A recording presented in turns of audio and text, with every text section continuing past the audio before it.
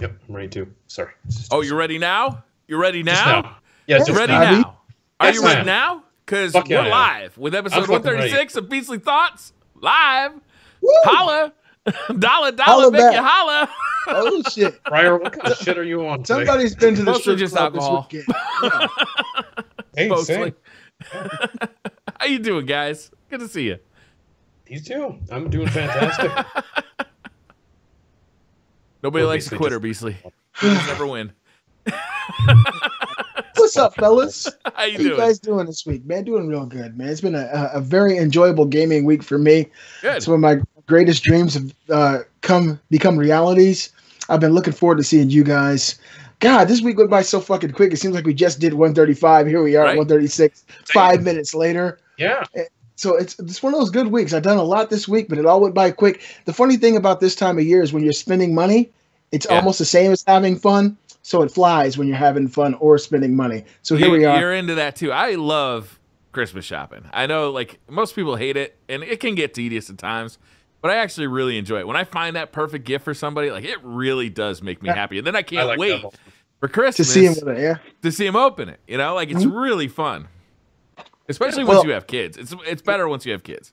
Let me just say this: if you do a lot of eBay uh, Christmas shopping like I do, be very cautious because right now there's a lot of deals going on. And one thing in particular, I picked up for somebody special in my life. Spent a good deal of money on it. Two or three days later, I got a message saying that they're out of stock, and now I got to wait for my fucking refund. And I'm like, Ah. well, I I got something else to go with this gift. Now you're out of stock. It's like ham, no burger, yeah. you know, from Friday. That's like getting the you know- batteries, but not the toy. Peanut butter, no jelly. What the hell? you So now peanut gotta butter no jelly? Yeah, it's insane. I'm I'm looking forward to the show, guys. Uh, I picked up a few new games uh, this week. Some games I told you guys, you guys I'd be getting. Yo, And I saw you on Twitter. We got a Yeah. disagreement about Infinite Warfare, don't we? A little bit. Well, Yeah. put it this way: Infinite Warfare. I said it's okay for the moment, right? Yeah. You don't you don't like Infinite Warfare. I actually haven't played it. I watched Kate play it. The Oh, reason I watched her play it is because I've been playing something else that completely has engulfed my mind to the point where I can't even write my Dishonored 2 review. I've been playing. I've been playing The Last Guardian by Team Ico, and for the people who don't know, it's true. This is the the next evolution of Shadow of the Colossus, uh, which is one of my favorite PlayStation 2 the games all best. PS2 game ever made. It's it's a strong contender. strong contender. Uh, and I guess right now we'll go on and get into what we've been playing because I have, uh, you know, I got a couple of new games. Some I've been playing, some of them I haven't had the opportunity to get back into, like Titanfall 2. Haven't played that at all. I watched maybe the first two hours of Call of Duty Infinite Warfare, which it looks great. It's one of the best looking Call of Duty games I've seen. Oh Right? yeah. Oh, it, it looks very pretty. phenomenal. It's really it's a beautiful game. Uh, but I did start playing The Last Guardian, and let me just tell you this: I was trying to to articulate to myself earlier today what I would say about this game and why it's special to me. This game is special because just like in Shadow of the Colossus, you don't absolutely know what your objective is, but you instinctively go forward and do it you instinctively know what to do. It's kind of like you build this relationship with this creature named Trico. And I swear to God, I'm considering renaming my cat Trico because Which it's such. rename. That's a dope Let's name. Going for with a cat. rename. I'm, I'm like, I'd fuck it. down. You know, Harley Quinn is cool, but I don't see You don't you come when you call it anyway, so fuck Yeah, it. We can I mean- rename it. She doesn't do crazy shit like Harley Quinn. I've never seen her hold a mallet or a baseball bat, but she acts just like Trico. The creature that Meaning they she doesn't do what you want her to do. absolutely hell no, she doesn't. It's so real, right? This this It's creature like a real that, cat bird dog I, s- thing. I swear to you guys, that this thing in this game is so real. I found myself talking to it throughout the gameplay Uh-huh. and feeling bad when things were happening to it. And and I'd run up to it and I'd pet it and say, "It's going to be okay." You know, it would get stressed out like like a real animal in a hostile situation. There are certain things that it does not like when it sees it and it gets afraid. And you've got to handle this obstacle so this gigantic beast can go forward with you. And the bond is building. Right now, I'm maybe five hours in. I'm surprised I didn't really have a chance to play it today. I did a ton of YouTube videos today, so I really didn't have time. But you build this very meaningful relationship with this creature. You don't know what's going on. At this point, I have no clue why I woke up and this thing was next to me. That's part of the mystery that it kind of unfolds about time you get to the end of the game. It all makes sense, kind of like Journey and the, the original PlayStation 3 game Journey. You didn't know what you were doing. All you knew is you were trying to get to the top of this mountain. You didn't know what the objective was and what your real motivations were until the end. And then you realize, wow, this is a very spiritual thing. I feel like this is something really similar. The Last Guardian, first of all, building the relationship with this creature, feeding it. You know, it actually gets hungry. And when it gets hungry, it lays down and looks at you like, oh my God, I need some food. You go find it some food. It gets happy and runs around the same way a dog or a cat would when they get a burst of burst, burst of energy. Uh, and tell me about later, it. later on in the game, yeah, I know you know, Robbie. Later on in the game, you get the ability to actually give it commands. For the first couple of hours, you can't give it commands at all. And so it basically does what the hell it wants to do, like a real animal. And you're kind of on the sidelines watching it. It might notice something that you don't. And you're looking like, what the hell is it looking at? And you look up and you see what it's looking at, gives you a whole new objective. But after the first few hours, you get the ability to make it stay where it's at, you know, sit, lay down, whatever, uh, to take you someplace, to go there by itself, to go look for things. It just feels really amazing. It is not something that I could really articulate extremely well here on the Beastly Mhm. Thought Show, other than to say there's nothing else like it on PlayStation. There's Mhm. nothing else like it. Uh, it, Briar, something you said months ago. I don't know what episode of the show uh, we were on was that in the early, you know, build of the game and actually seeing it on at these conferences, it didn't really look that great. Um, I can't say that Yeah. now. I can't say that. It's one of the greatest looking games on PlayStation. It really is. All right, Especially- all right, Beasley, I, I got some questions for you. Bring it on. If you're going to talk about graphics, I've been looking at this game, right? Mhm. And there's certain parts of it that look phenomenal. Like the feathers on the dog look astounding. Mhm. But like the the geometry and the and the textures on like the the levels, they do look old. They look like a PS3 or that. PS2 game. Yeah. Like they I, I, it- I gotta disagree. I gotta Really? disagree. I, I totally do. Uh, we'll probably have if you ever pick up this game, we'll have to have this discussion again. okay. But like Alright. today, today, I rendered some videos, and while I was rendering it, I was pausing my renders and looking, and it looked like a fucking 4K image, but it was actual gameplay. The textures might look not extremely detailed, but they definitely don't look like something out of a PlayStation 3. It looks like PS4 quality, but you got to keep Okay. in mind Are they pulling a Nintendo here where the the art style is so good that it makes up for the technical deficiency? Possibly, but this is one thing you got to keep in mind. This game is built in the same world as Ico and Shadow of the Colossus. So they're maintaining a certain visual aesthetic that has to bridge the gap between generations while still at the same time giving it a visual boost. I think that's exactly what they did here. It does feel like the the physical or I guess real representation of the future technology from Shadow of the Colossus. They're not going to make it photorealistic. Those characters in Ico and Shadow of the Colossus don't look photorealistic. Team Ico created their own particular art style with Sure, the yeah. characters and with the world. Yeah. That But has Shadow of the Colossus was like astounding, like on Yeah, a it- technical for- level when for- that game was for its released. Time, for its time, yeah, it, it really was. It still holds up today. If you have the the remastered versions on PS3, it still holds up today. But to me, like watching it, playing it, I've been through tons of places. It's an extremely huge and vast world. Not on the same level as Shadow of the Colossus. Shadow of the Colossus, you could drive, you could run and ride a horse for an hour, just going nowhere. There's actual meaningful places for you to go, but when you see the verticality and you look down and you realize, wow, 10 minutes ago I was there. It's just a huge, vast, open environment. Everything to me looks great. It complements the particular art style that Team Ico has kind of let gestate over these 10 years. Yeah, it you know- definitely looks like a Team Ico game. It Yeah, no does. doubt. and, Like, and- no and let me just say, when you watch regular YouTube videos, I don't know if people are rendering them a certain way, and I can't say that everybody's doing it wrong. But what I see, the game looks phenomenal. If we're going to talk about this game, we have to talk about some of the animation. I've seen some incredible, some of the best animation I've seen in any game I've seen in this game. Are you running this on a PS Pro or a regular PS4? I'm, I don't have pro money, not after that Okay, PSVR all at Christmas. but It does have. gamer, It does. Ha- it does take advantage of the PS Pro though. it right? does, yeah. I saw Yeah. Digital Foundry's video on It that. does. I'm going to get one probably in the next couple of months. But when when you see the animations of this this Trico creature uh, or the Bird dog. animations of the boy.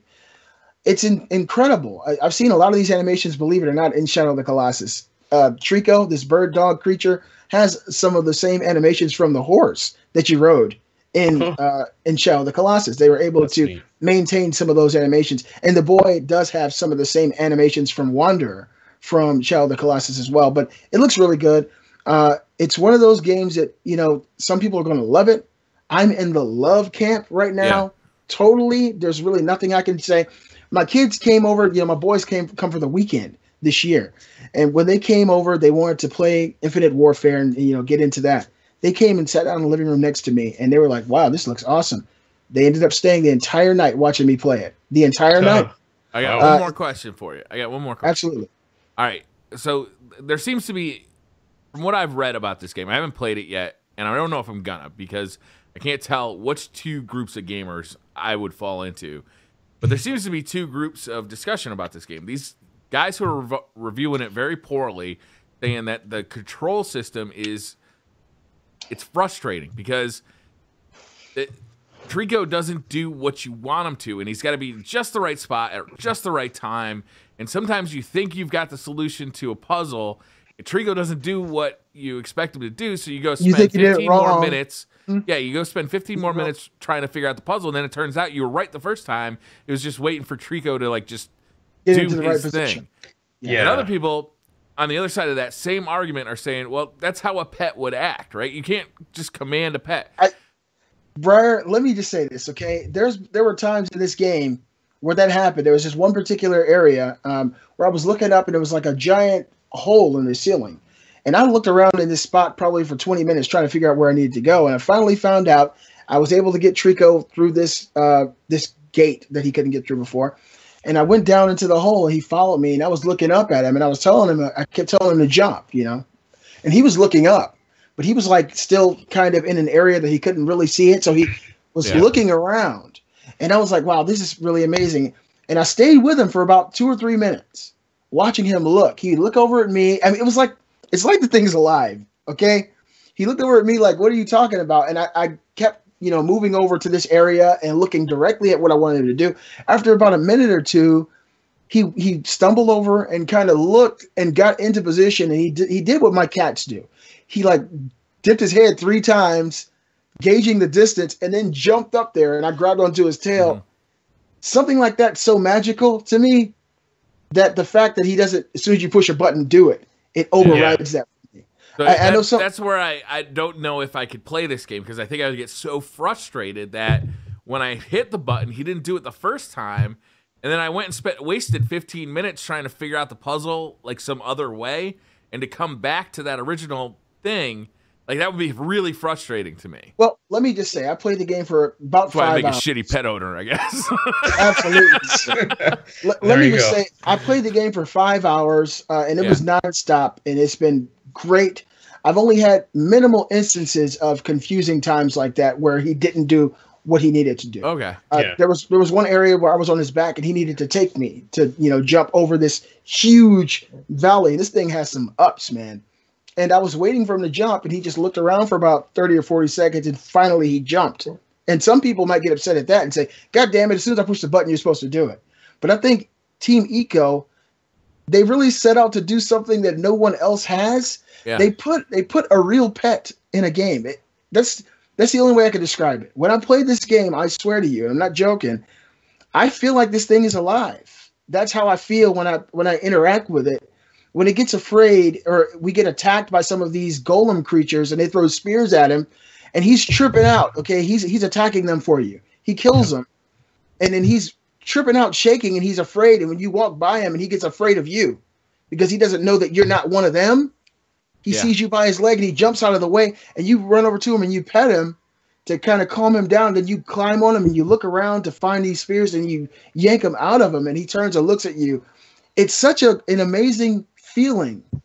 They've done something here that to me trumps what Shadow of the Colossus did. You're able to crawl on this gigantic beast that's alive the same way you could in Shadow of the Colossus, but they've built Mhm.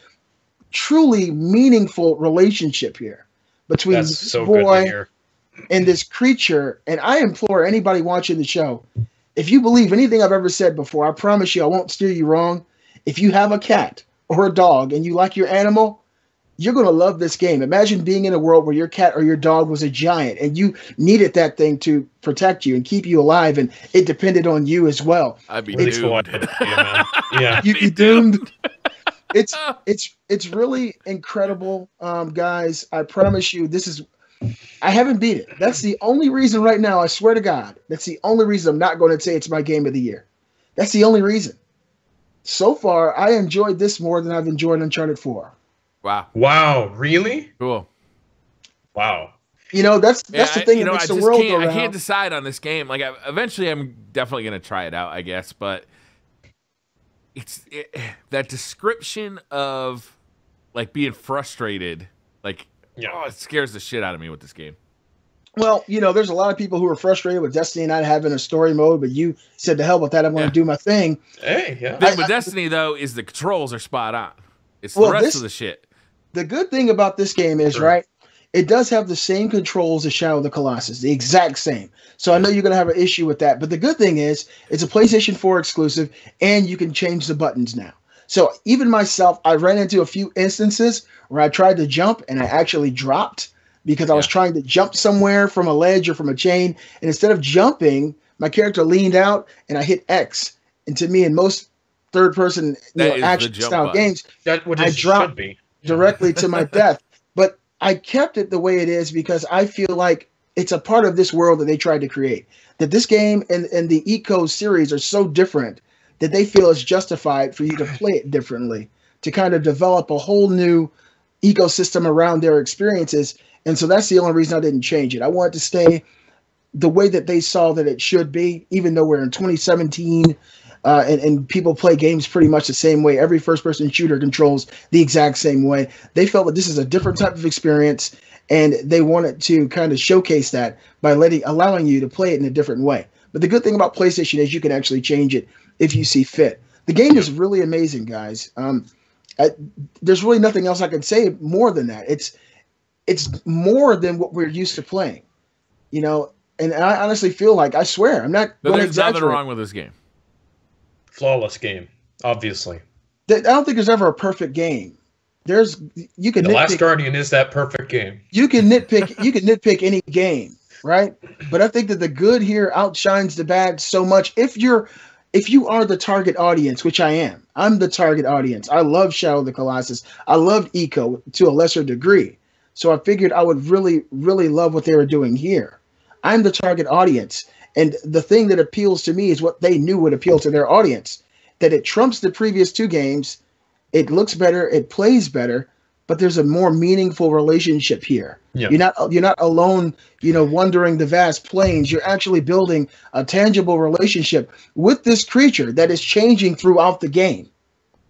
I'm not going to spoil anything, but something is happening to this creature. Yeah, we gotta just- talk after the show. We gotta talk. If that dog dies, I'm not playing this game. Oh We gotta talk because if Uh, that dog dies at the end, I'm not playing. I, don't- want to know. I don't think that's happening. I don't think that's happening. But th- there, there is a tangible changes happening with this creature. There is. I know you guys have seen the Let's Plays where the little boy picks up like the barrels and uh, Trico gets down and eats them. Yeah. And it's like green stuff. Whatever this stuff is, this this beast is incredibly addicted to it. Uh, there was this one portion of the game where there was a big vat of it sitting on a train track, and this Trico stuck his head in the hole and would not remove his head because all the smell from it was just permeating through this area of a building. So you had to find a way to close it. Uh, I don't know what that stuff is doing and how you know exactly what it is for him, but there's definitely something happening with this creature, and you know this relationship that you're building with it throughout the game is just something so different. I I can't put my finger directly on it, but all I can say is this: you've played every every type of game before. We all have. We've experienced first person shooters, adventure games, uh, sports simulators. This is fucking Tamagotchi meets an RPG meets a third person uh, adventure game set in a beautiful dreamscape type of land, and it's That sounds It's- crazy to it's me. really incredible. That's quite a description. Well, I mean, Wow. uh, it, it's like a, a pet simulator, but it's more meaningful than that. Pet Simulator 2016. It, it, it really is. The stuff that you do really matters to this creature, and it gets to the point where it's saving your ass, and you're like, wow, now after all the stuff we've d- been through together, Yeah. you're actually saving me. You know, it sees you in tough spots, and it does things that you would really expect your pet, your dog, to do to protect you, and it, it just feels so real. I know it's all programmed. I know it's all pre, you know, pre-conditioned, but it feels in the moment. It feels so genuine. And to me, it's more amazing the fact that Ico was able to convey that in a video game that it feels real. It doesn't feel like some you know writer and developers put this together. This thing feels alive, and to me, that's something more than most developers could ever That- say. that's pretty strong. When a when a game can make an emotional attachment, you know, like that's pretty That's strong. important. Especially I'm for gonna- a game like this that is so reliant on narrative and the relationship between the bird Well- dog, Trinko, and the son. Well, obviously that's say- important. I think Yeah. to say that Team Ico games are heavily re- reliant on narrative, I don't know if that's the case. I really can't say that. People see it as that, but if you could probably put every word written in all three games together on two pages, Yeah, because it's really not narrative. The thing that That's they've true. done, the thing that they've done in these games is they make you, they open your mind up to what's happening. It's all your particular interpretation of what this character is going through. They don't Right. lead you and say, "I'm feeling bad." You look at the character and you feel bad. So it's it's they kind of open up a whole new way of playing a video game, and I'm loving it. I'm actually very happy I didn't get Final Fantasy 15 first because this I haven't played a game like this in a long time. you're not that and it's big a really- fan of Final Fantasy. It's going to be oh, unique, Oh, I'm God sure. Are you really excited for Final Fantasy there, Beastly? Are you sure about that? Yes, I am. Are you really sure? Damn it, Joe. All right, I, I think I think Beastly that you've convinced me to at least give it a shot. Yeah, I I'm excited to play the last. I Guardian might too, wait man. until it goes on sale. Like I might wait to see it discounted. Um, because it's not it like a multiplayer game that I feel like I immediately need to jump in or I'm going to miss it. Uh, but I do unique. feel like I It's do need to check this out. experience. I bet you it's gonna be I'm, really I'm cool. happy. to I'm play. happy to, to keep you guys open minded. Like I said, some people who want that immediate satisfaction of I just hit the triangle button. This fucking dog thing is supposed to break dance right now. God damn it, Bird Dog! What's wrong Those, with you? pe- those dance people for are, me. are going to be a little upset. But for those people who know how animals really act, and, and if you're trying to convey to your dog or your cat, sometimes if you're training a dog or a cat, you're going to have to go through the motions more than once. You're going to have to say, sit, and the dog might not listen. Look at you like you're crazy. You might do it two or three times until they understand. Dude, I It played really- in 10 dogs. I know what's up. Word. That's not like taking care of a real pet, Briar. Just to let you know, real So- pets take a lot more work. I, I'm sorry I took so long talking about that game, guys. But it No, was I, really- it's I, really I'm been amazing. interested. I'm like really interested in that game because I'm really on the fence about it because Yeah. like I, I look at the footage of the game, I'm not that impressed. I mean, uh, stylistically, it's beautiful, but it's not technically all that impressive to me. Very unique I- niche game. I That see, be I hear man. people talking about their experience of connecting with Trico, but then I also hear the experiences of people just being frustrated with the controls. So it's like Yeah, it's And really up in the air. It's this mix of Very bad. different opinions that I just it's hard to wade through. So I'm glad to hear yours. yeah. Good, thank good. you, Beastly, for providing your opinion on this. I'm glad to hear it, and I mean, I'm definitely looking forward to playing it. I think it's just going to be a unique game. It's going to be something really cool, and It I'm excited to try it. I played a lot of games, guys, and, and this year I bought so many games that I haven't played. I still haven't played Far Cry Primal. I bought Mad Max this year. You haven't got- I- played Far Cry? no. Briar, Oh my God! way to Beastly. talk. Briar. Really, Potts? Are you going to call the kettle kettle black right now? Black is midnight. All joking aside, I Goddamn. have at least ten to fifteen games on PS4. I got a couple on Xbox One I haven't played, so yeah. I, I want to play them all. I don't have the time like I used to, and then I find they- myself looking at just a gamut, a list of games that I just haven't had the chance to play. But I'm really happy I I, I pulled the, the trigger and got uh, the Last Guardian because it's different. You gonna put mean, up a full those- review on your channel? Absolutely, man. All right. As soon as it allow, as soon as the game allows me to finish writing my review for Dishonored 2, uh, then I'm gonna write my review for The Last Guardian because it's it's so good, man. It really Nice. is. It's Awesome. incredible. So what have you guys been playing this week? Yeah, Robbie, Rob- talk to me. Oh, talk to me, baby. All right. Sorry, that was creepy. I don't know why I said that. I, I don't know who you're talking to either. I guys. apologize. Okay. I'm gonna assume it's you because Did I call myself baby? That wouldn't make any sense, but sure. All right. All right, Bieber, go ahead. Stop it. I can hate that guy. Uh, anyways, um, well, God, I've been playing a lot of stuff this week, man. Been playing more Dark Souls 3 because, like, I love that game so much. Another game I bought that I haven't played. Oh, it's so good. You absolutely got to play that, especially with a friend. It's nice because when you get really stuck and you're getting really frustrated, it'll help. But yeah, so loving Dark, Dark Souls 3 and, and what else, Robbie? I know you said a lot of stuff. You mentioned one game. That's not a lot. So what else have you been playing this week? I'm not done. Let's go. All right. Uh, so I've been playing a couple of games that I picked up for Black Friday that I hadn't even started yet. Another one of those, which I'm really enjoying, is Just Cause 3. Came out about a year ago now. I'm sure you guys know. Open Another world game that I bought that I haven't played. Oh, Uh, yeah, another one.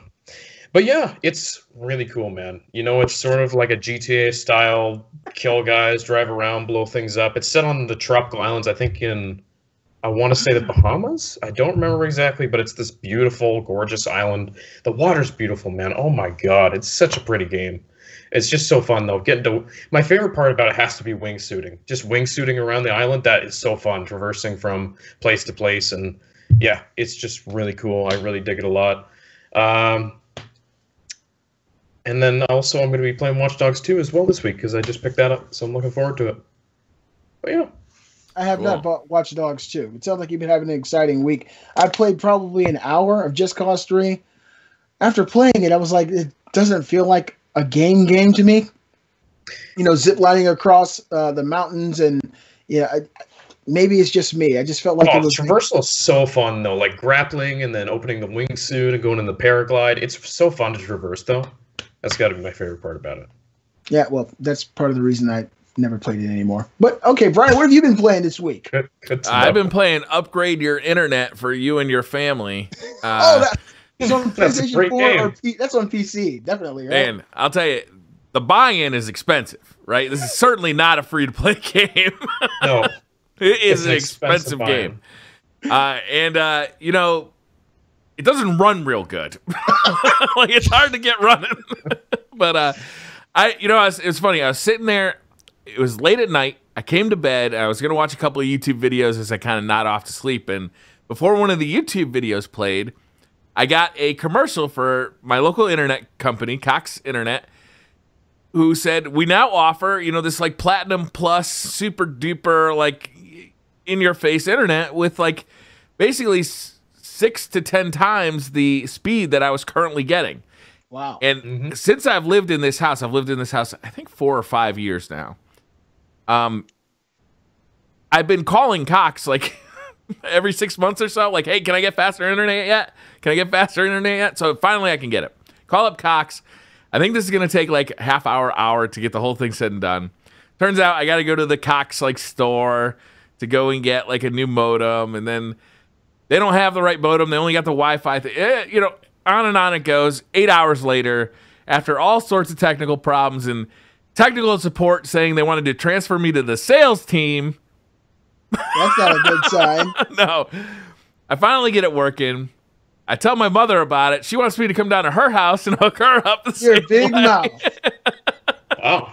I probably Uh, so- do. Let me call. Let me call mom and tell her how good I did. Yeah. Great weekend, man. Setting up internet for my family. Yeah. Right. So now, like, I'm really happy because I went from five megabits per second upstream to 30. So that's like a big jump for me. 30, Whoa. it's always upstream that makes a difference to me. You know, like because I'm I'm a content creator. I'm trying to stream. I'm trying to upload to YouTube. So it's like it's an incredible difference. I wish I could get faster, but that's as fast as I can get. I know a lot of people have 900 up. You know, that's not That's- available in my area. Oh, Holy that's fuck, crazy though. seriously? That's nuts. Yeah. So that's what I've been up to. Like, and it's it's kept me away from my computer because I've just been dealing with it. But it's finally all set up, and man, it's made a world of difference. It really, it's so much fat. It takes ten minutes to upload a video as opposed to like forty five to an hour. You know, Wow. like that's the difference. When I stream, now- I can stream at the highest bit rate now. I don't have to like keep uh, stepping it down because we're we're dropping frames and stuff. So it Now, should we- just increase the quality. we don't have Cox here in Georgia. We got these Mm-hmm. dicks, AT and T. Yeah, Uh, I'm familiar. yeah. Uh, so the the cost of what you had compared to what it is now, what did they double it or triple it? How did that work? Ten dollars extra a month. Oh fuck! I got. yeah. Are you serious? yeah, yeah, because I The difference is uh, it- it's really twenty dollars extra a month, but I was renting a modem, which I I stopped doing. I just went to Best Buy and bought one, so I didn't have to pay a monthly fee for it. Uh, so that I paid hundred dollars for the modem, but got ten dollars off my bill per month. That's incredible. Yeah, That's awesome. So so it's really twenty dollars more per month, but since I I got rid of that modem Well, rental fee, is ten dollars a month. But Briar, Yeah. Briar, I've heard enough about the story of how you set up your parents' Wi-Fi. How is the actual gameplay when it comes to setting up your family's Wi-Fi? Though I have Oh to know. man, it's great, man, because there's this really great crawling under furniture mechanic that I mean, you just gotta be Oh, there. yeah? There's this cobwebs in your hair thing. Like it sounds immersive. VR's got Wow. nothing on this. What? It's Like real it's like you're actually getting spiders in your hair. now, now, now, Sounds Brian, I, exciting. I've heard conflicting reviews on this uh, Sebby Mom's internet. Yeah, I've heard some people say that the controls that the controversial controls suck, and when, Yeah. once you play it a certain way, you can get all dirty and grimy. But Yeah. the other people say say that the glee in your mother's eyes once it's set up is worth it. reviews. The Kind of like the last the Guardian. fact is, your mother doesn't know the difference either fucking way.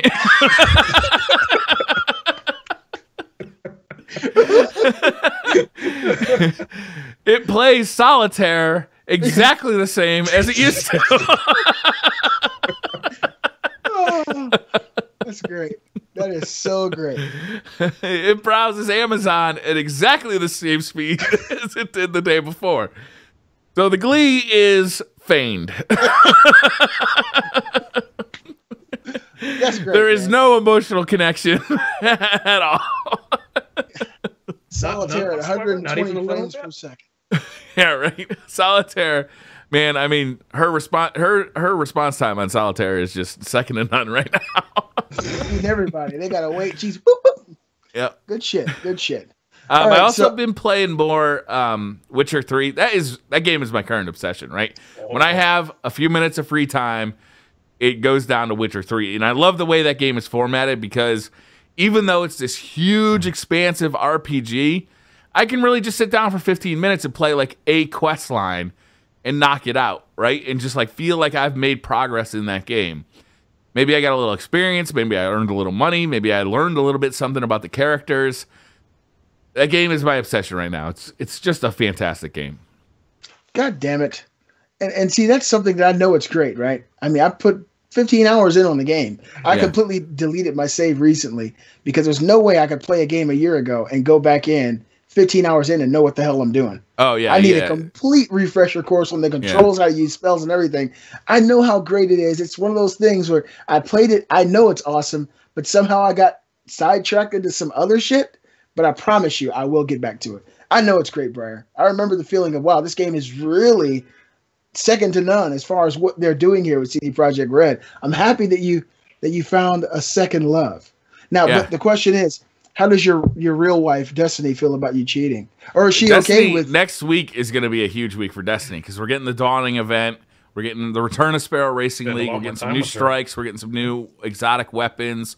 Like it's a big week for Destiny, so I'm really looking forward to that. Better take Destiny out for dinner too and do some nice things for her. You know. Right? You know, you know I, I, I. I didn't forget her. I was out Christmas, Christmas shopping yesterday. I didn't forget sexy, Destiny. got that se- that sexy good. lace, that sexy lace emote. Send All some right. nice stuff over to Deej, the community manager. I Now, didn't forget about this you, is- baby. This is something I actually uh, talked about on my channel. It's coming up this week. There's been some rumblings about Destiny 2 and certain developers working with Bungie. Yeah, That's Brian? Vicarious Visions. Precarious Visions, they've actually confirmed it on their Facebook page. Then they took it down. They took it down. They took it down after they confirmed it, which is really Huh. stupid. Uh, wonder why. any thoughts? You got to ask. I, the last time I worked at Vicarious Visions, I don't know.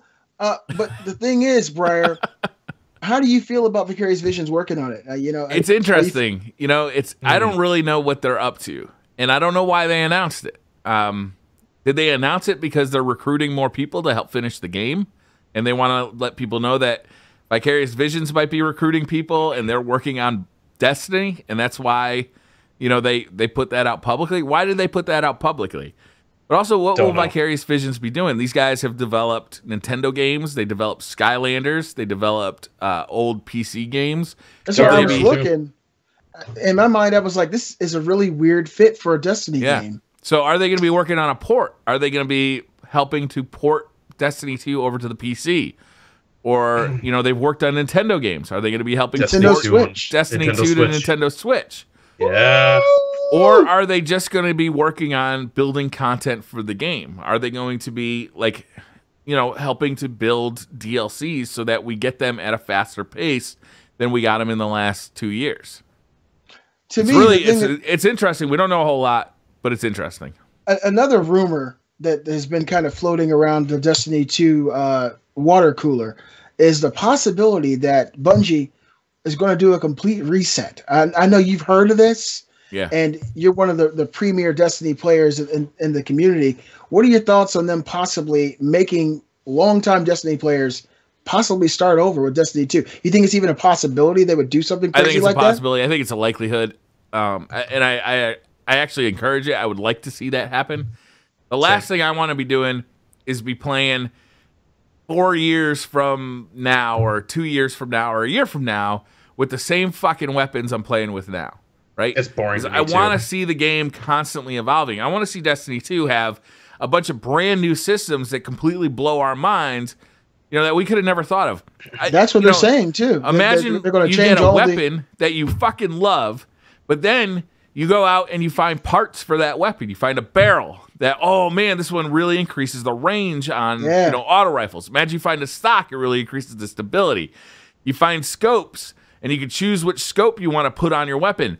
And not only does it change the characteristics of the weapon, but it changes it visually so that you know every piece of your weapon feels customized to you and you really feel like it's your weapon as opposed to the way it works now is you just you get a weapon that looks like every other weapon and it's got a few perks on it that there are you know very clearly correct perks for PvP and PvE but it doesn't really feel like yours. You just feel lucky that you got it to drop you know like I I'd really like to see them move that system on and in that new system I don't see the last word I don't see the thorn I don't see Hawkmoon I don't see any of the current wis- weapons fitting in at all so these Yeah, are not.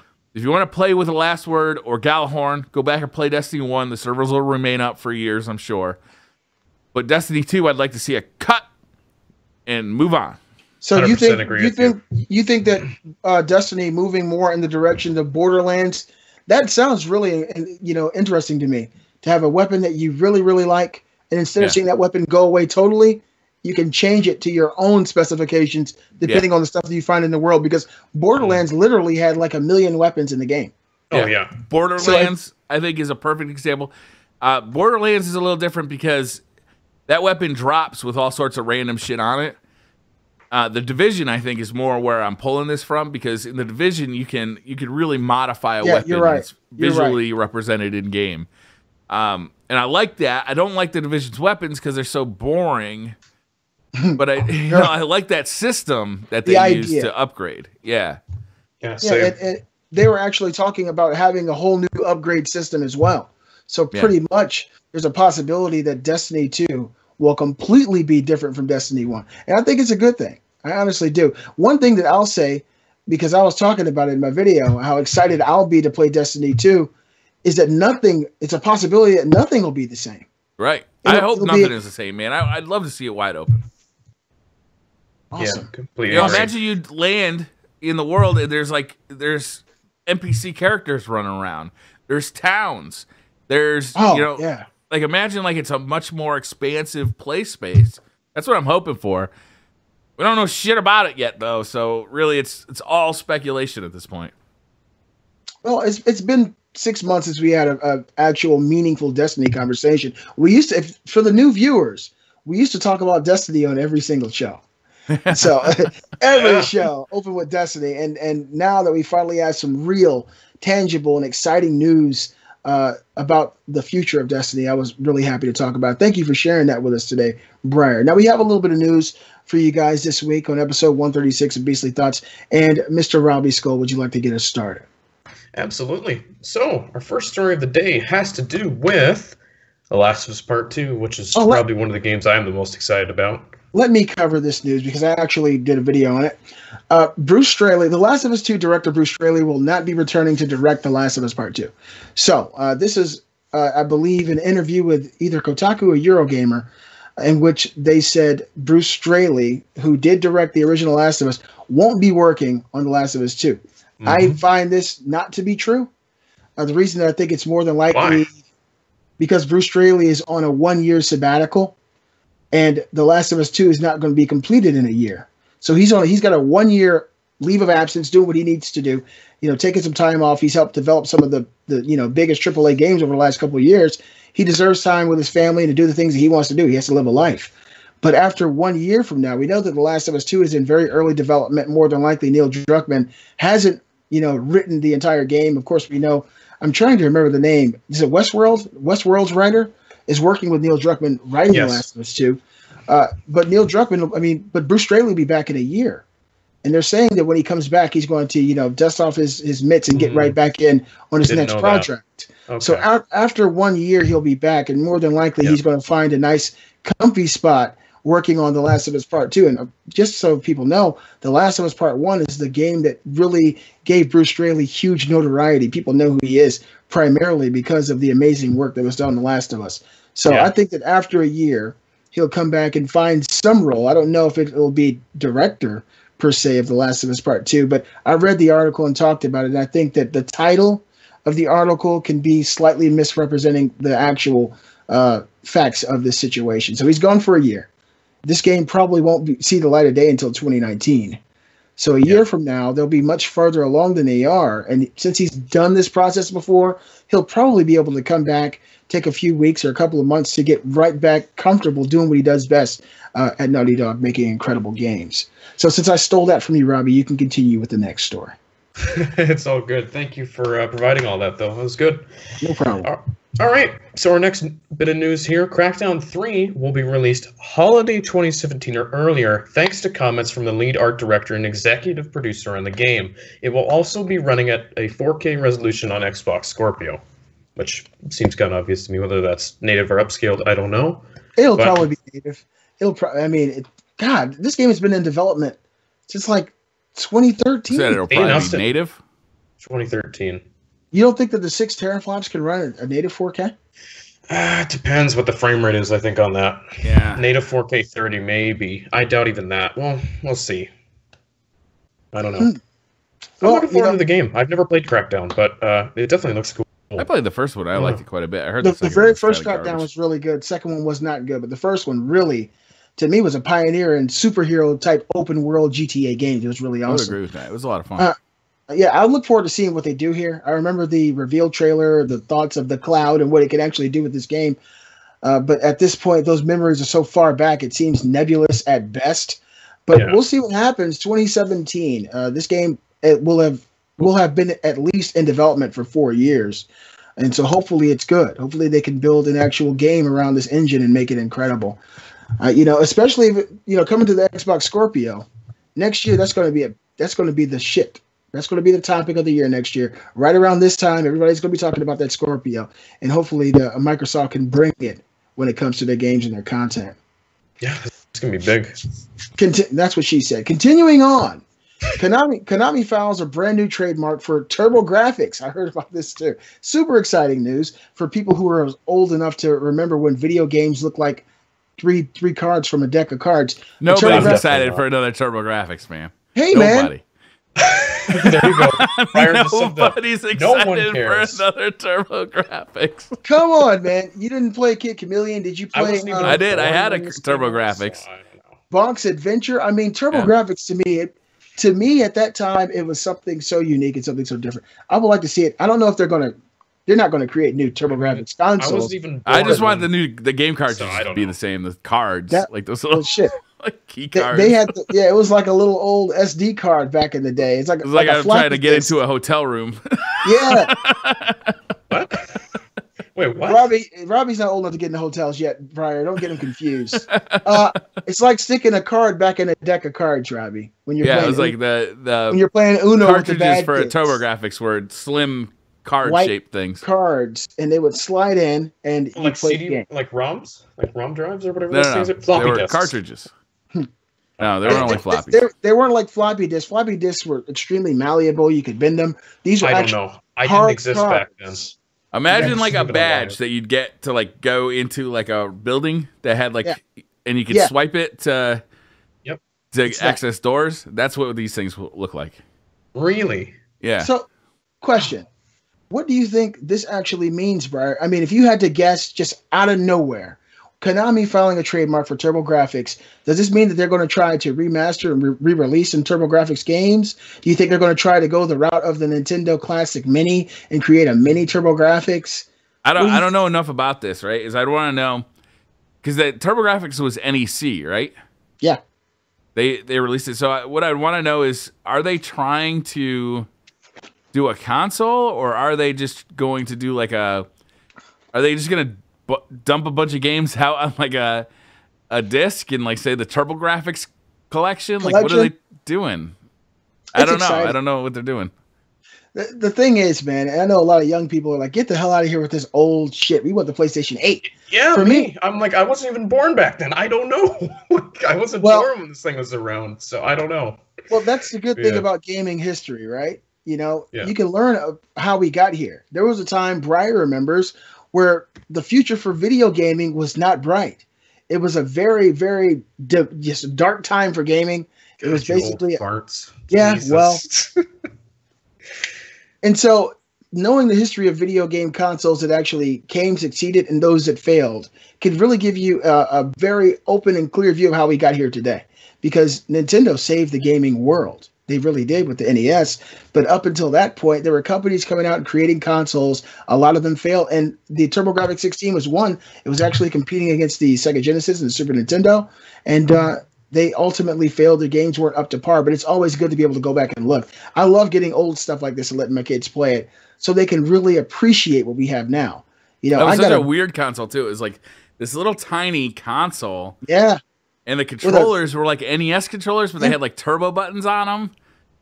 what? Or You- no, you they had switches, right? It's like one, two, and three, depending Yeah. on how fast you wanted the turbo to be on the button. Oh man, what a I mean- weird console! I I have one still. I should dig it out. I don't think I've ever seen Oh, what fuck. it looks like. I You need should one. Google it. It's really weird. And it had this like plastic sleeve. So you plug in all your cables on the back of it, right? And then it Yeah. had this plastic sleeve that went over you it. slid onto the back of it. It's so fucking cheesy. What? yeah. It only had one controller port too. Yeah. So you had It to was- you had to buy like a multi tap kind of thing. Don't say words that he doesn't understand. A multi-tap, Briar. Multi really? yeah, he doesn't know multi He's- tap he either, thinks that right? he thinks that's like a, an orgy or something. Look, What the fuck? I wasn't thinking that at all, but okay. but, multi tap. yeah, I'm not I'm- tapping I'm- that ass. I'm, I I'm- mean, it's just some hardware thing. I'm really excited to see what they're going to do here.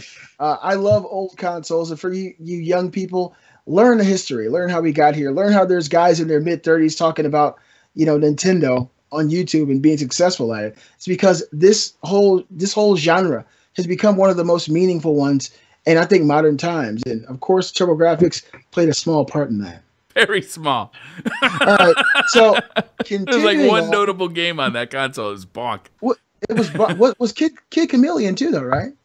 I don't. I wouldn't call that notable. Maybe it's just the, one of the titles I remember. yeah. Maybe that's the only reason it's notable. What was the one that shipped with it? I can't even remember the name of that game. Man, It that wasn't- It wasn't notable. yeah, it wasn't notable. This is actually exciting news. Uh, I've been wondering what was going to happen with the month of November as, as far as NPD sales go with the uh, main consoles. I'll say the, the big three minus one. The PS4 has now passed 50 million consoles sold worldwide as of December 6th. This accounts for both the standard PlayStation 4 and the PlayStation 4 Pro. 50 Ooh. million. That's a big number, man. Let me just say that the PlayStation they didn't break it out. Like how many of those are pros? No, but No. I, I I would surmise that a lot of them were uh, because Xbox beat PlayStation for like the, I think the last four months in a row. They did. Yeah, yep. So th- to them, it's PlayStation's been in the twilight zone, you know, in a rerun episode every single month.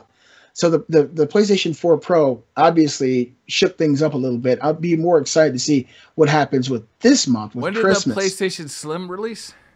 uh, September. September. September, and PlayStation has beaten Xbox four months in a row. Yep. No, Xbox beat PlayStation. Other way around. Oh, really? Yeah. Xbox has beaten PlayStation even with the Pro out.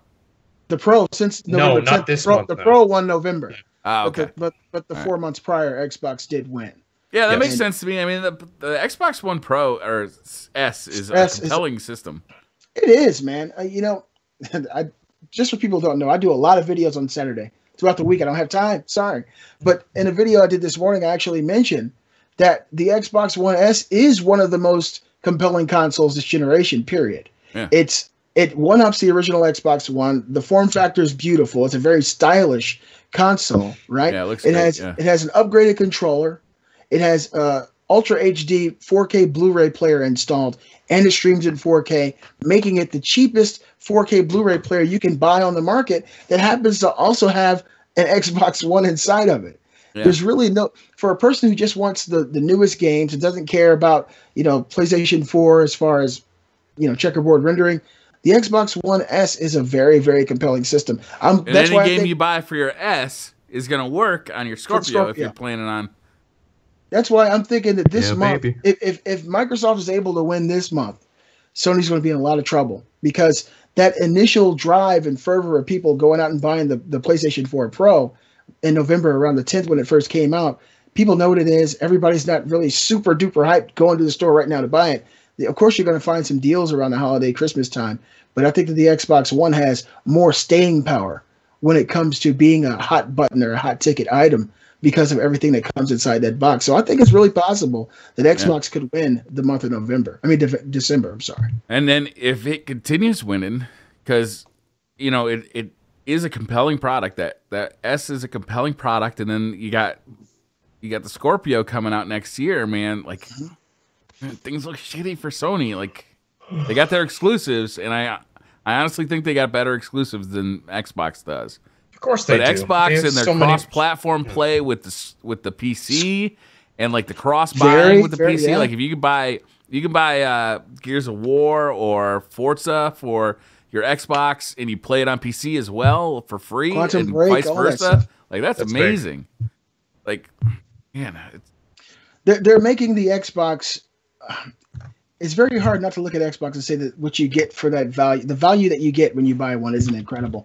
If you have a, a Windows 10 gaming PC or PC period, you buy an Xbox game, you can take your laptop with you to school, and you'll have yeah, the can you even if you if you're playing on PC, can't you use your your Xbox to stream the game? Yeah, you your can. I do that. Yeah, that's what I do. Yeah. That's fucking, I gotta start doing that, man. I gotta move my my Xbox is sitting right here, and I never play it. I gotta move that thing down in the living room so I can just stream PC games.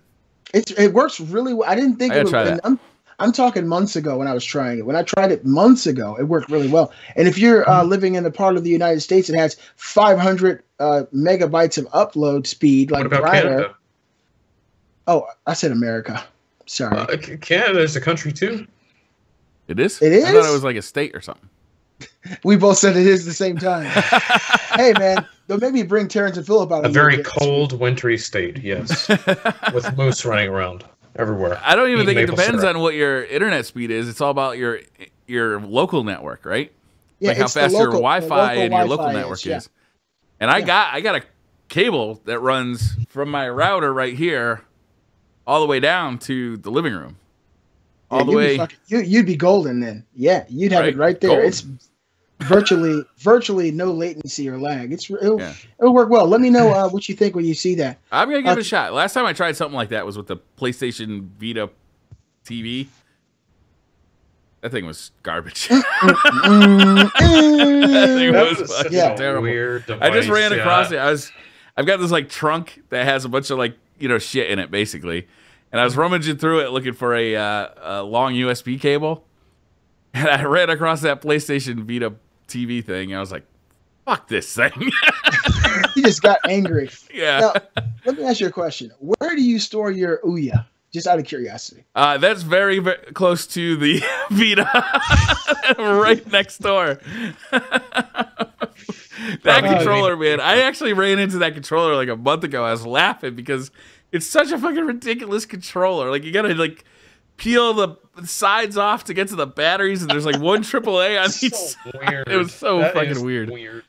It's Yeah. funny though. They tried and they failed. Uh, I don't know if Hey, you you guys can't, watch. you can't blame them for giving a shot.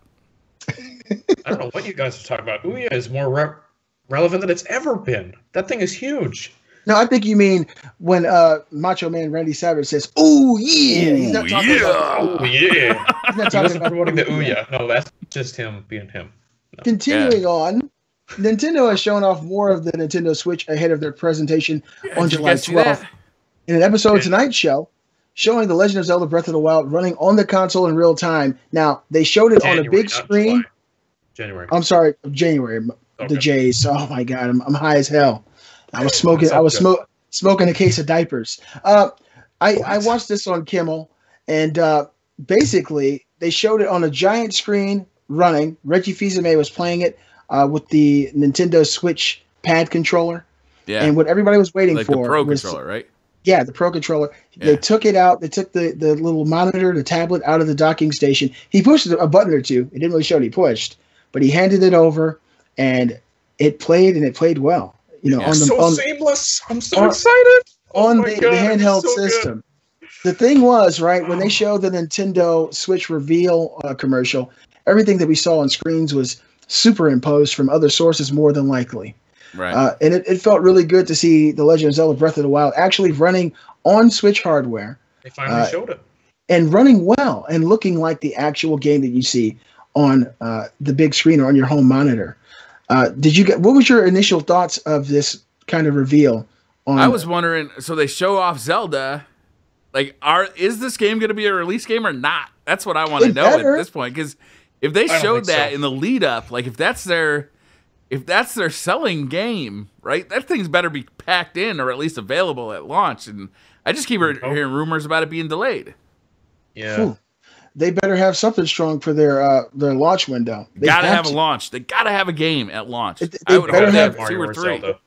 Either either the new Mario or the Zelda Breath of the Wild needs to be released have one of those. Or when they release this thing. In Mar- yeah, in March. If they do that, it's a win-win for them. Yeah. I mean, Uh, these guys was- are against the ropes. Nintendo is on the ropes right now. They are. You know. I mean, they So gotta get I'll they gotta get something to stick. The last thing they've had stick is the fucking 3DS, and that thing. I mean, That was 200 How years long ago. can when it came last? Yeah, yeah. It's. Yeah. I think it was actually on the boat with Noah. The 3DS is, is so old. Noah Um, Stark. But but there's one it's thing that still got fucking seawater in it. yeah. I, I did a, a story on this today. It seems that the Nintendo Switch actually will be slightly different uh, in its handheld form than it performs on the home console docking station. It's a rumor, Appar- right? It's a rumor, but it's coming from a very reputable source at Nintendo. Apparently, the docking station does more than just transfer the image from the handheld device to the TV screen. Apparently, it has fans installed in it to keep the console cool because Does it have extra processing power though? it, That's it, what I o- want to know. it know. overclocks the GPU. It adds, Uh, it gives it more power, right? it gives this it is the, more This is the rumor. Is it gives it more power so that the GPU can run at a higher clock cycle. It doesn't overclock anything. It just allows Hmm. it to run at a higher. It gives it more power to allow it to run faster. Yeah, well, that's basically big what the article said. Uh, it, it, and to me, that's a great idea. Some people might say, well, the, the handheld needs to perform exactly the same. Not necessarily, especially when you Uh. see the way the Legend of the Legend of Zelda Breath of the Wild was actually playing uh, Yeah, yeah. on the handheld. It looks like it, it runs well enough, as good, if not better, than what we've seen on you know modern handhelds. Yeah. And the fact that it could possibly run even better when you connect it to your HD television because these fans are allowing it to run at a higher uh, power usage and get more out of the console. I think it's really smart Nintendo. I'm really excited still to see if this thing is using AMD's Tegra X1 or X2 chip. Because a lot of people were saying before this reveal was that the Tegra X1 would not be able to compete with uh, its contemporaries, meaning PlayStation 4 and Xbox One.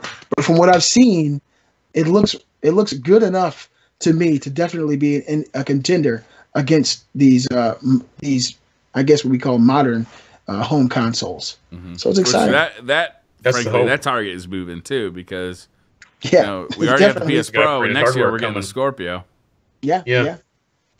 And, and I think that's a give and take that a lot of a lot of gamers are going to be willing to accept. You know, uh, funny, the fact yeah. that the, the fact that you can actually take this thing on the go, you wouldn't expect it to look the same way that a PlayStation 4 and Xbox One game looks. Uh, and it looks as good as it does. And I think that's kind of the give and take that people are just going to willfully accept.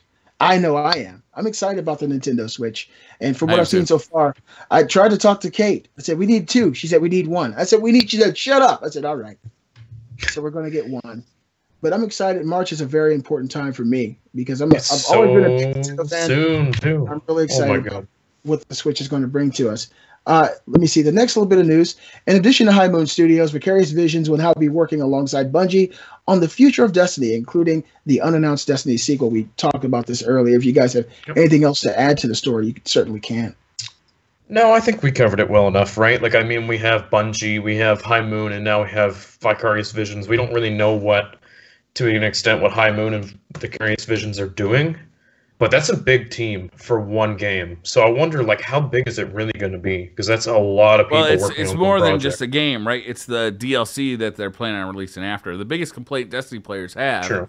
is that there's not enough content coming out regularly.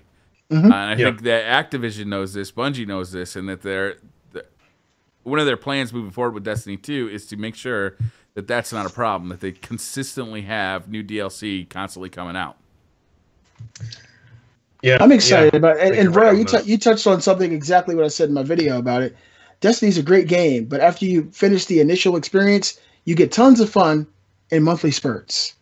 That's Yeah. the thing. Yeah. now, Yeah. I'm not, not you know not discounting the people who play it all year long because they're having fun continually. They found something about the game that brings them back, and so everybody's different in gaming. But for me, the thing that I said kind of pulled me away was every three or four months, that's when you're going to get this boom of excitement about Destiny. Once you go through some of the some of the things, you've seen all they have, have to offer, and so that's kind of exactly what you just said. I totally agree.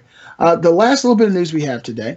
DICE has confirmed this week that Star Wars Battlefront 2 will have a single player campaign in addition to a complete multiplayer. Thank you. Oh, No other details were given. Side note, Briar, have you had the opportunity to play Star Wars Battlefront B- VR? No, I haven't. I got to do that. That's free, right? You don't even have to own Battlefront, do you? Yeah, it's free. You you do have to own Battlefront. Oh, you got to own Battlefront. Okay. but Oh. but I Battlefront's twenty liked dollars. Battlefront. I didn't buy it though. I played the beta and I was like, okay, I feel like this is all that it really has to offer. And I- I'm That's a huge Star another- Wars You're fan. right. It was, I know I'm right. You are another right. game I bought, the but I didn't a game is a beta. It is. Yeah. so yeah, I'm looking forward to the next revision of Battlefront because if they're gonna add, you know, some story and they're gonna add some single player, plus they're Star gonna Wars. expand on the multiplayer, like this. Battlefront was cool, man. As far as tech goes, like it was unbelievable. The graphics and the weapon sounds and like And how everything Star interacted Wars. with uh, each other was so cool. But It there just like wasn't Star enough there, right? There just Yeah. wasn't enough there. And I- I now totally give them a, li- a couple more years, adding more stuff to that. Oh yeah, this game is going to be a blockbuster. well, I'm the excited. thing- Yeah. The thing is, Star Wars Battlefront did extremely well. It's so like insane. Uh, but the thing that still strikes me to this day is very, very strange about that whole uh, situation was it's a Star Wars game without a story. Star Wars is Yeah. is the story. Yeah, And that's that- that's what has lore. The Star Wars mythos and franchise and series and ecosystem have kept people engaged and excited for generations. Yeah. Right? It's it's been out for decades, and to release a a beautiful Star Wars game that has none of that, and pretty much your only motivation is to get out there and shoot the bad guy. It left a lot to be desired. Yeah. Now- I did have. I played the beta. I played it with you guys, and I was having yeah, a you played ball. with me. Yeah. Yeah, I was having was a ball very fun. playing that. You know, like the multiplayer maps were fun. There was like these weird like single player missions that you could kind of do that eh, they were kind of lame, but it was still cool to be in that world and using those Star Wars weapons and be surrounded by Hoth and Tatooine and like it was just eh, graphically and immersively unbelievable. Yeah, Um, totally. So, like, if they can take that tech, what they developed for Battlefield One, and move it to Battlefield Two with like, and just add more stuff and make it a better value, I'm no doubt I'm signing All up. in. I'm a huge Star Wars fan. I'm a I'm a goddamn hyper nerd. oh Are you yeah, gonna- are you gonna Star see Wars Rogue- means a lot to me too. Are you going to see Rogue One this month, Brian? Oh yeah, totally, away. absolutely. I'm bringing the kids. close. We're gonna make a day of it. I'm gonna buy the big popcorn tub. Free You know it. refills. You're a good Mhm. father, Brian. Oh, yeah. love you. That's Make awesome. sure, make sure. You I got my teach the moments, boys- Robbie. I'm proud of you. Yeah, I'm proud of you for those moments.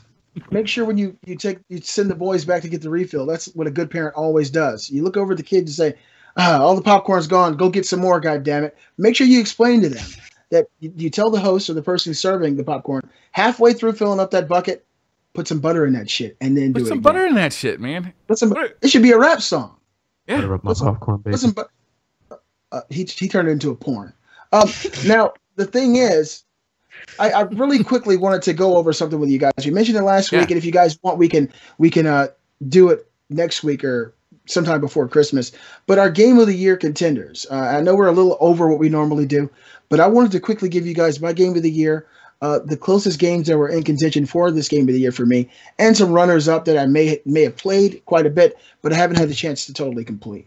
So my uh, the, my competition for game of the year was summed up in five games. And if there's one that I played, I talked a lot about. I just can't remember at this point. But it was Doom, Uncharted Four, Yeah. Dis- Dishonored Two, Okay. Over Overwatch, Mhm. and Odin Sphere Leifthrasir. A lot of people don't know how to say that. All right. but You lost those- me there at the end a little bit, but. Me too. Yeah. Well, but hey, it's- it's, it's- your personal list, man. That's fine. Yeah. And it's a game. It's a game that means something to me. I, I played the original Odin Sphere on PS2. Playing this game on PS4 was really incredible to me.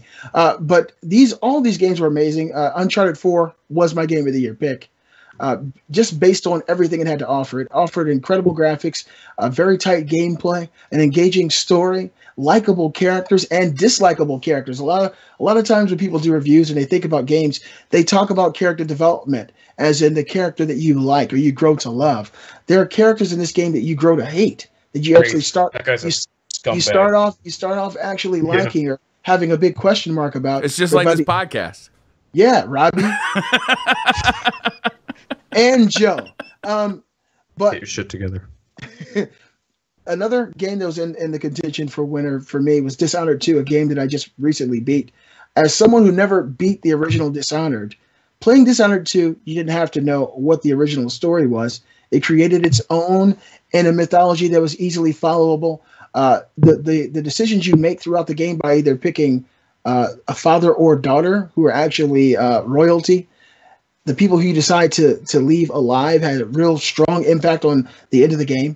And if you decide to kill people, the end of the game would change. Had tons of very unique mechanics. Uh, it's a stealth game, but it didn't have to be. You can run and gun it as long as you know what you're doing.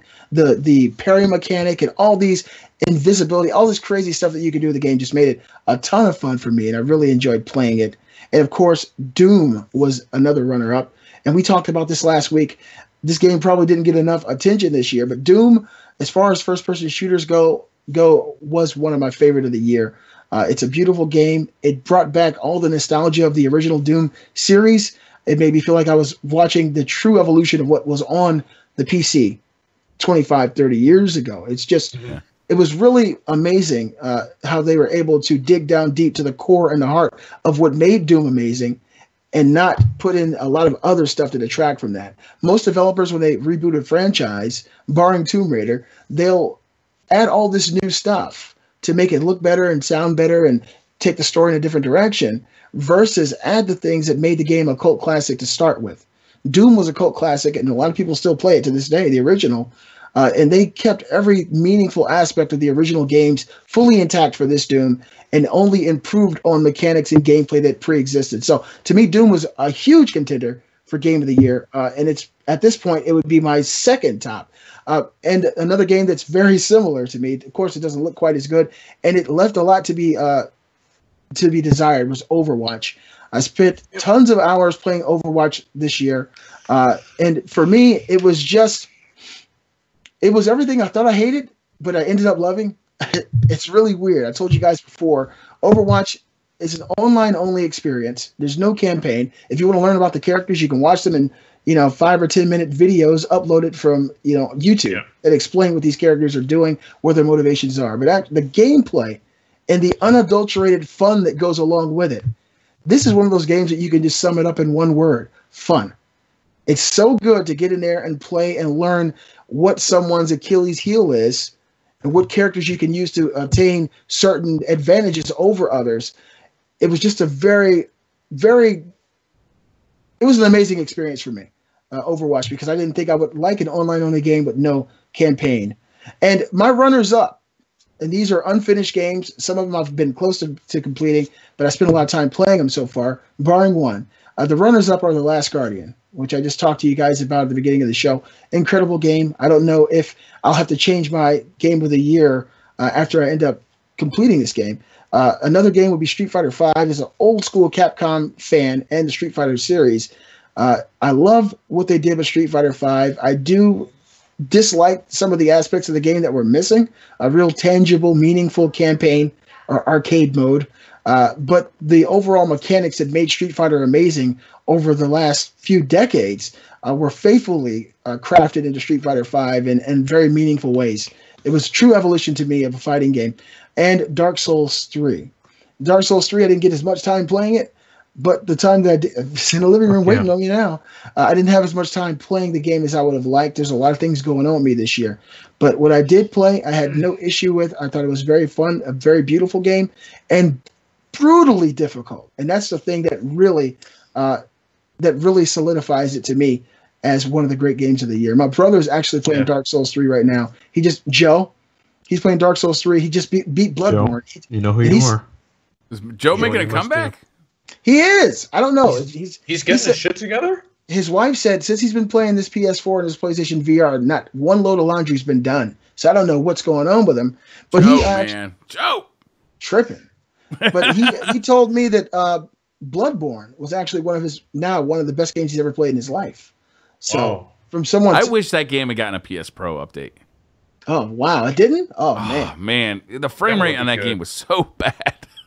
like, oh, if they had given it an update, just increase that frame rate. Imagine, oh. I didn't even think the amazing. frame rate so much in that game. I thought it was more when it would stutter. I guess that kind of is the same thing, but like I noticed that it, a lot it too. A, bug, it, a, it absolutely is the same thing. But um, that okay. those are my game of the year. If you guys want to maybe next week talk about yours, I'm pretty sure you guys didn't have too much time. I just kind of jotted down at the beginning of the show the stuff that I played and I really enjoyed, and yeah. uh, I'm happy I was able to share it with you guys. I could go quick if you want. That's what you said. Sure. I like quickies. They're fun. Anyways, uh, all right. So there were a couple games this year that really stood out for me. I think I've played a lot of games that I really enjoyed, but nothing like, you know, really captivated me, except a couple games. So I think it comes down between four: Uncharted Four, Dark Souls Three, Inside, and Battlefield One. Oh, hold on a sec. This is a horrible timing. so, what was your game of the year pick, Robbie? My mom says it's fine. Never mind. Sorry, that was horrible interruption. But Bye, uh, mom. Yeah, I mean, I think if I had to pick one, I'd say Uncharted Four because I love that franchise a lot, and it's one of my favorite in gaming. And that game lived up to the my expectations. Everything from I thought the game was incredibly fun to play, the level design was well done. I mean, I just love the characters. I love Nate and Sam and Elena and everyone. I think they're great, and the story really wrapped up nicely for me too, which I was so happy to see. But that's got to be my game of the year. Huge shout out to Battlefield One though. That game had an emotional story. Like that legitimately got me choked up. That was incredible. I, I, I, agree with you on Game of the Year, but I'll say I don't think that that Uncharted 4 lived up to the hype. I think that they exceeded what people expected. There were a lot of people mm. out there talking about the fact that Amy Hennig left or was forced out uh, over at Naughty Dog would have real long lasting and negative ramifications on the game. Uh, and so that was out there in the air that this game might be different. It might not work. New writers, Neil Druckmann's going to make it real dark. It won't have the same feel. Uh, but to me, it overshadowed everybody's expectations at that point. It's really a great game. I what about you, Brian? problems with that game. I had real problems with Uncharted 4. Keep it like, real, Brian. Hey, you know, and, and, I can totally understand why somebody would absolutely love where that story went, but I found it very disappointing. And mm. you know, and that's a personal preference thing. I, I, I gotta I gotta imagine.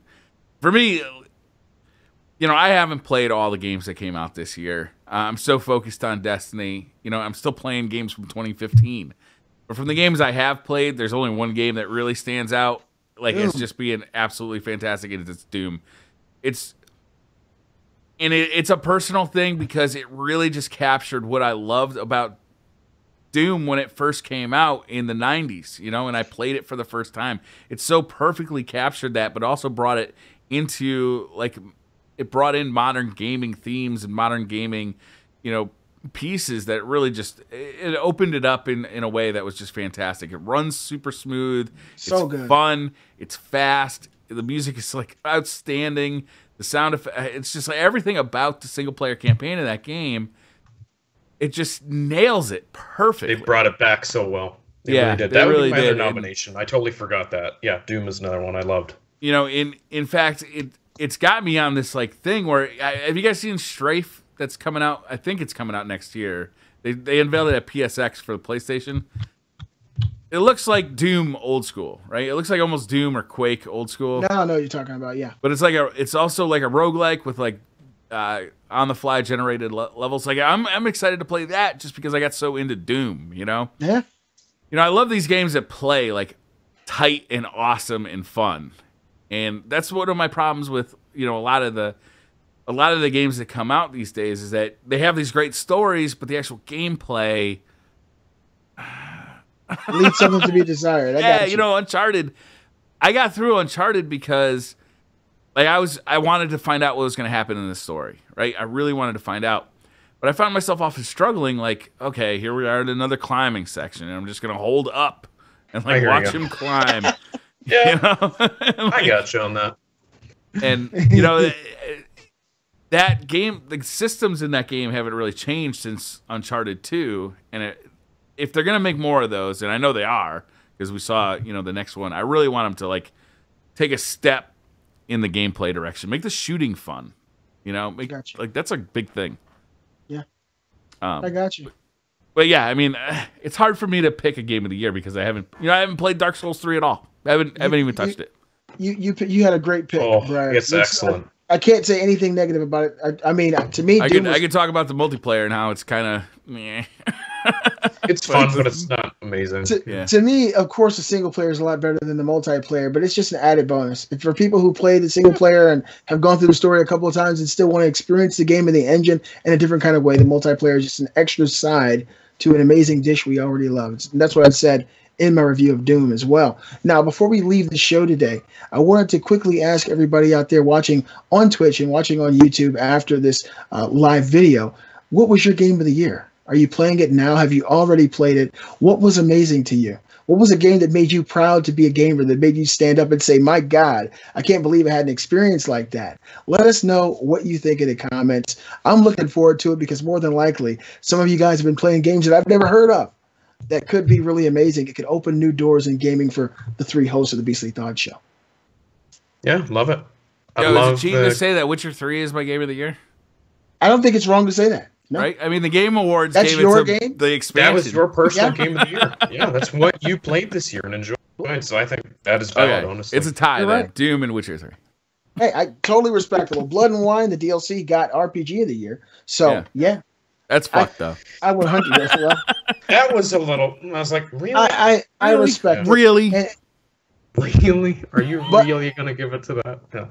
But Are there's you a lot really of excited for Final Fantasy 15?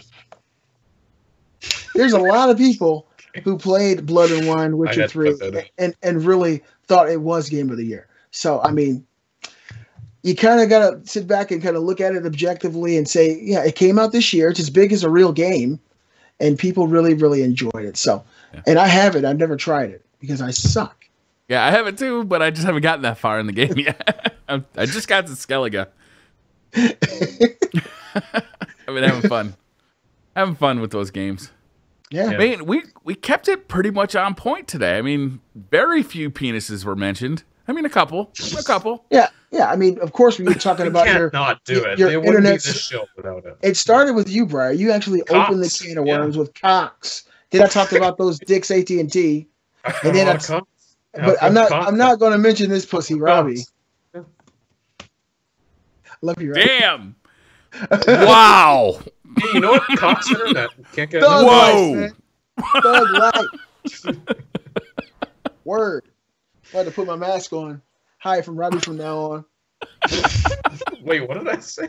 What's wrong? Okay. Oh, nothing, Robbie. We all love you here in America. These That's right. Americas are extremely inclusive, and we enjoy your company. Thank you for being an Yeah. integral part of the Beastly Thoughts live show. Keep on believing. Especially, don't stop believing. Okay, That's how you do it, synchronized. Robbie. All right, should we wrap it up? What do you think? Are we done? Are we done making fun Nice of and Robbie? you Let's end last this- licks in before next week. Last Get- Canadian joke before we end it. Let's get one in. Think of a good one. I'll give you guys some time. Think of a good one. I can't think of one. I'm on the spot now. I got nothing. I'm a blank. I'm drawing a- a blank. Just take a minute. Just take a minute. All I can think is Justin Bieber jokes. No, It's not bad. Hey, I gotta tell you, that's not bad. we, we we have no jokes for Canada, the leader, and of course, greatest country and leader of the free world. Yeah. Also, my visa is pending. Oh wow, DJ Man in the chat said, uh, "Quickies, dicks, and cocks." Yep, that's a solid podcast. all right, guys. We, thank you for we have hanging to out. hit we have to hit all Yeah. those uh, bullet points. We gotta check all the boxes. Yeah, Gotta we gotta do that every time. Quickies, dicks, and cocks. All right. Thank you for watching. We'll see you next week. Peace, guys. Take care, guys.